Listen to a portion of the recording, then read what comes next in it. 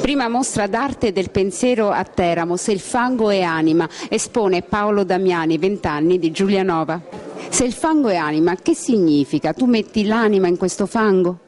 Sì, io mm, per ogni scultura cerco di mettere l'anima eh, come elemento principale. Eh, dare, mh, mm, per me l'anima è molto importante eh, per queste sculture, cerco appunto di dare questo, questo significato vero. Quando hai cominciato a plasmare il fango?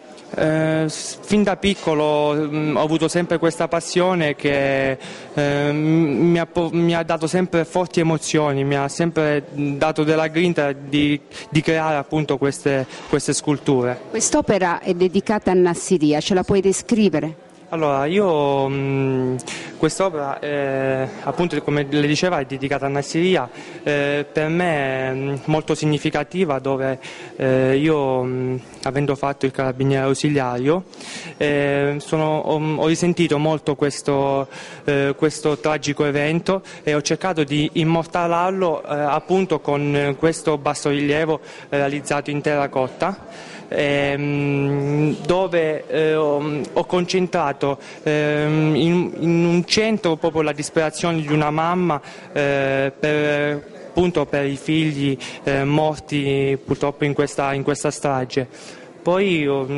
ho, ho riproposto ehm, caserma, una caserma distrutta, appunto ho voluto proprio ehm, ho voluto ricreare quell'ambiente drammatico eh, che appunto è stato questa strage.